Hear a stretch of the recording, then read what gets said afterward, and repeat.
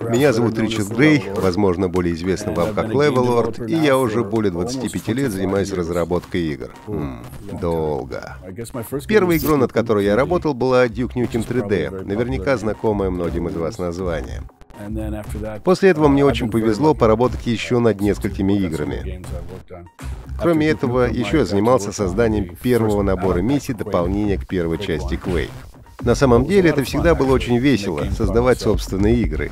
Если бы у меня была возможность, то я бы всегда делал игры в одиночку. Никаких встреч, совещаний, поездок в офис. Хотя, оглядываясь теперь назад, можно отметить, что раньше разрабатывать игры было намного проще. Во времена работы на Duke Nukem наша команда состояла из восьми человек, или около того, из которых двое были левел-дизайнерами. Совещаний было на порядок меньше, мы занимались контентом и уделяли ему гораздо больше времени, просто сосредоточившись на игре и делая ее как можно более увлекательной.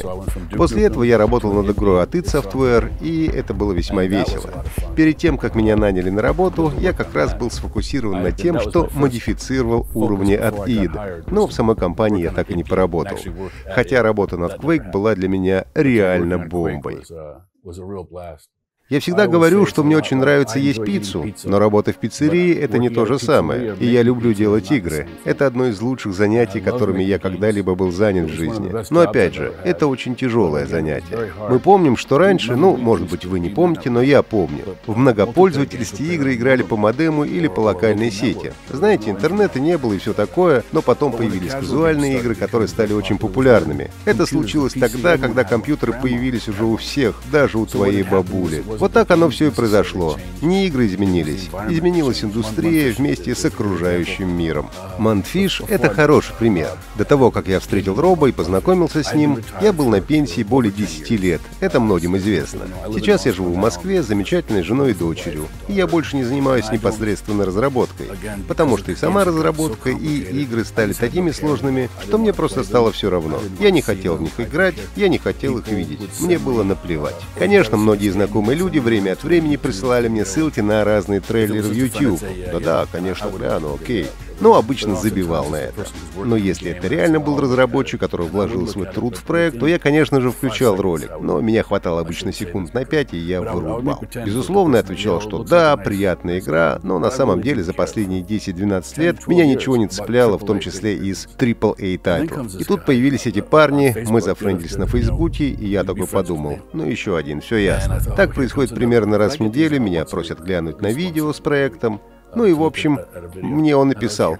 Я работаю над игрой, она очень крутая, мы из России, из Москвы. Вот, посмотрите наш трейлер. И я такой, ну окей, поехали.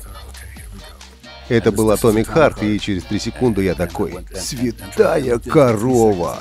И не мог больше поверить, как это круто, что там вообще за такие дела происходят. И ты такой вообще не можешь оторвать глаз от ролика, потому что там что-то вообще невероятное. Конечно, это был всего лишь трейлер игры, но ты смотришь, там одна крутая хрень. Она проходит, потом за ней еще одна потрясающая какая-то штука, а ты все еще от предыдущей под впечатлением и такой «Да какого фига это вообще только что было?»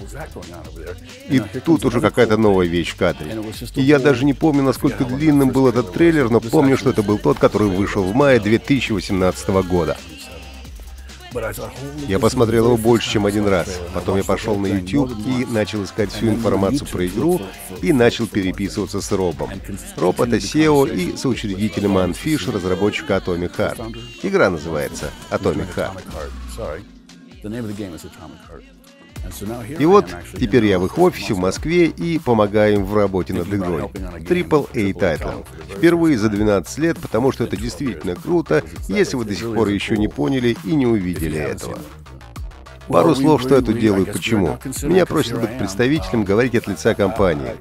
В интернете было много, много странного. На самом деле нет такой вещи, как плохая пресса. Люди, говорящие вас, неважно, хорошо это или плохо, делают полезное дело. Но это обычное дело практически для всех игр, которые можно отнести к AAA тайтлам из-за сложности и размера. Когда вы начинаете игру, и вы делаете свои прогнозы на весь цикл разработки, и, конечно, все идет не так, как вы планируете. И еще раз, то, что вы видели в том трейлере игры, вы знаете, который я посмотрел уже не знаю сколько, может быть, 30, 40, 50 раз, это все еще в разработке. Над игрой трудится группа талантливых людей, профессионалов, не детей или студентов, а опытных людей, которые работали над большими известными играми. Да, раньше, когда я работал в Ritual, когда индустрия фактически только начиналась, большинство людей, которые работали над играми, были совсем молодежью. Практически никто из них, особенно если говорить о левел-дизайнерах, вообще не имели никакого формального образования. Вы самостоятельно изучали дизайн уровней дома в редакторе, который шел с игрой. Хотя у художников было образование. И, конечно же, у программистов тоже. Но сейчас уже есть школы и все такое, так что это совсем другой тип людей, сотрудников и специалистов, которые составляют команду разработки. Но, в частности, здесь, опять же, все эти странные слухи, комментарии в интернете, где люди говорят чепуху. Я понять не могу, черт возьми, откуда они думают, что знают что-то о тех или иных вещах.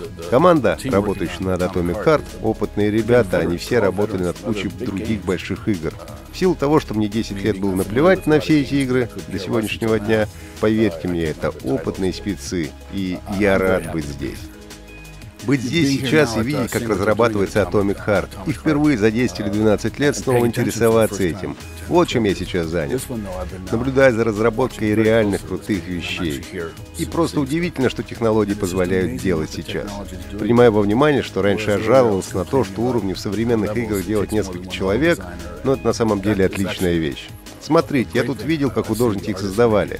Раньше видел артистов, но никогда до этого не встречался с тем, чтобы они работали не просто над персонажем, и даже не над головой персонажа, и не только над лицом персонажа, а занимаются проработкой глазного яблока персонажа. Я имею в виду, что все сводится к тому, где каждая маленькая штука очень важна. Конечно, не совсем фотореалистично, но уже очень близко к тому. А потом позже я оценил работу дизайнеров уровней. И, как вы, возможно, знаете, ландшафт строится одним человеком. И всего лишь ландшафт, текстурами, без всего остального, но с ручьями и реками, тропинками, деревьями. Всего лишь поверхность в зеленых и коричневых цветах выглядит совершенно невероятно. И другие художники работают над деревьями, их правильным расположением, над зданиями и тем, где и как они стоят. В общем, я раньше жаловался на то, что над одним уровнем может работать несколько человек, и это плохо. Видимо, это потому, что когда я начинал, все было устроено иначе. Я был дизайнером уровней, и там, может быть, еще двое или трое коллег левел-дизайнеров присоединялись ко мне, а потом художники, а не я, делали всю геометрию модели. Но теперь все по-другому. Конечно же, Atomic Heart не единственная игра, где есть технологии. Они работают на Unreal Engine, кстати. Посмотрим в общем, потому что я бы очень много хотел вам рассказать, но пока не могу. Будет круто. Большое значение имеет сюжет, конечно, и просто, просто посмотрите трейлер, если вы его еще не видели. Если вы уже его видели, то знаете, о чем я говорю, и, вероятно, тоже с нетерпением ждете. И мне кажется, или игра входила, я не уверен, конечно, но вроде бы все еще входит в пятерку самых ожидаемых игр на Steam. У людей есть неправильное представление. Многие думают, что Open World игры — это означает, что у вас есть вся земля целиком. Open World — это нелинейная игра, когда вы идете по коридору, а возможность открыто выбирать пути, по которым вы пойдете. Но многие начинают возмущаться по поводу того, что ну, это что-то такой маленький мир, где я не могу никуда особо пойти. Да идите вы нахуй. Вам, блядь, чего? Весь земной шар нужен. Тут всего лишь большой уровень. Но в любом случае, вы тут можете вырезать этот кусок, но я буду все равно говорить то, что я думаю. Смонтируйте потом, если надо. Возвращаясь обратно к технологиям, я видел и дизайн уровней, и арт, и то, что делают вот ту штуку с тем, что художник работает отдельно с глазным яблоком, это действительно увлекательно. Я был в офисе в Санкт-Петербурге, где делают motion capture, захват движения. Последний раз, когда я сталкивался с этой технологией, это выглядело так, что человек надевал черный обтягивающий костюм, и на нем закреплялись маленькие белые шарики, каждый из которых отвечал за определенную деталь тела. А теперь очевидно, что костюм — это целая система, для которой не нужны шарики и куча камер вокруг. Именно сам костюм теперь снимает движение персонажа, и вы видите это в игре. Yeah, did, did I see that correctly? The suit itself is, is taking the data of, of the motion.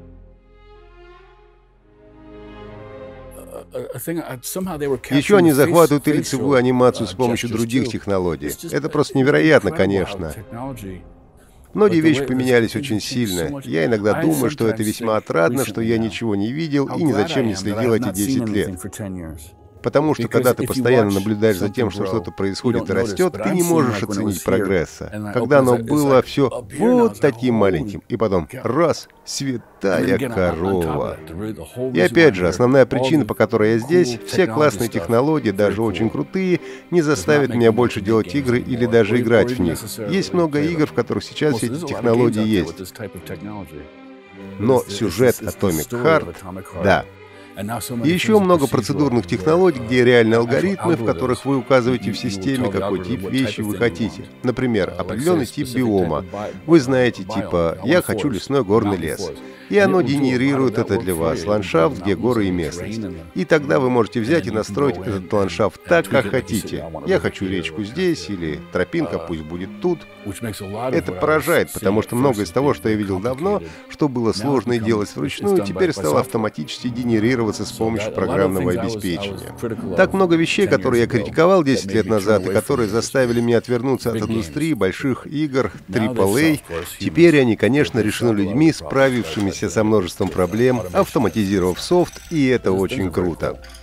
Когда мы начали общаться с Робом, то обсуждали, что я был бы не против помогать в работе над этим проектом. Я сказал ему, что, конечно, хорошо, но я хочу видеть, что у вас там есть и что происходит, потому что я читал все эти различную критику, все эти статьи. Очень много троллей с профессиональным подходом.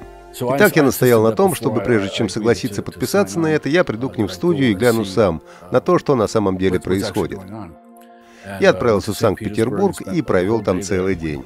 Я поиграл в один из уровней. Я убедился, что геймплей, который был показан в трейлере, хотя, конечно, это и было год назад, и компания тратит время не только на создание игровых трейлеров для вас, люди, что там есть игра, есть на что посмотреть, есть что поделать.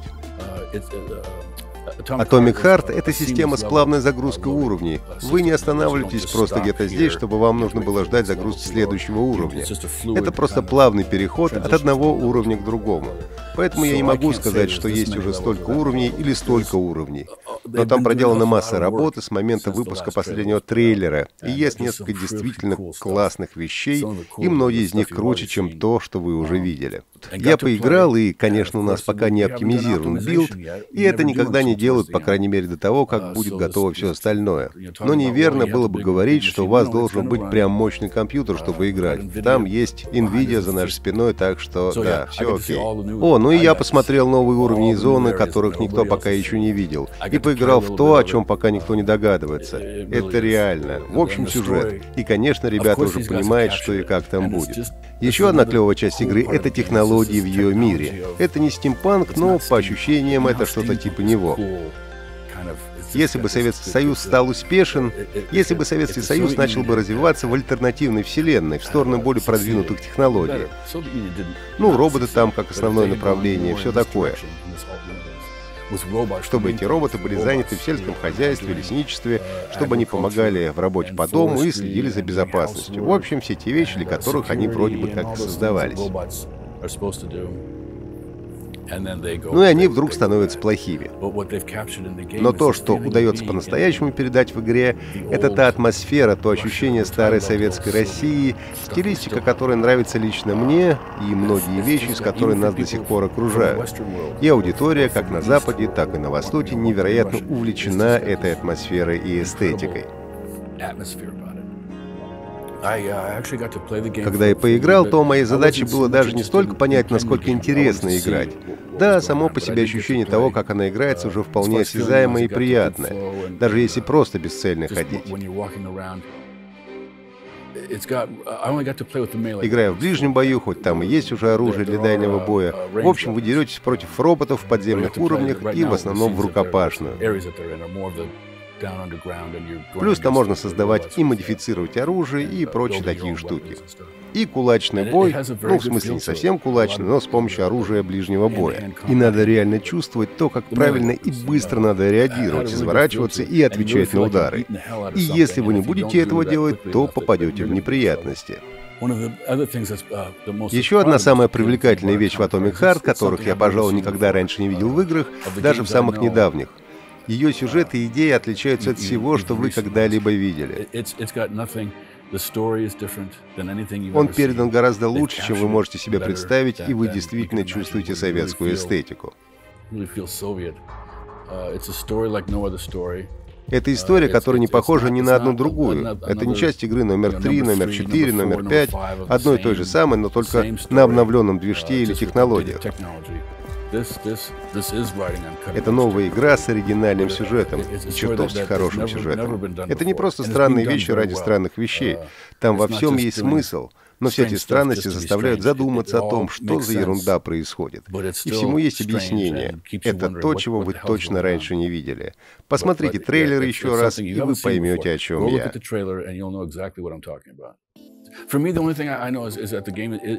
Я очень взволнован. Я с нетерпением жду выхода «Атомного сердца». Я был с тех пор, как впервые увидел это. На самом деле я уже предзаказал. Предварительно заказал версию основателя. До того, как все это произошло. До того, как я подумал, что могу присоединиться к проекту. Но я с нетерпением жду, когда он выйдет, чтобы увидеть. Для меня самая большая часть — это история. И просто круто, как они уловили атмосферу происходящего здесь. Это не похоже ни на что другое. Это что-то вроде этой игры, что-то вроде этой игры, но в целом это не похоже ни на что другое, что я видел или думаю, что кто-то еще видел.